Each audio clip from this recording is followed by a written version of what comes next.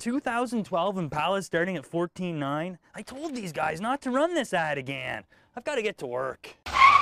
Yeah, I'll take all 10. Ryan Easton here at Gananoque Chev, where I've managed to secure another 10 2012 Chev Impala starting at only 14.9. It's for a limited time only, so hurry in today. It's first come, first serve.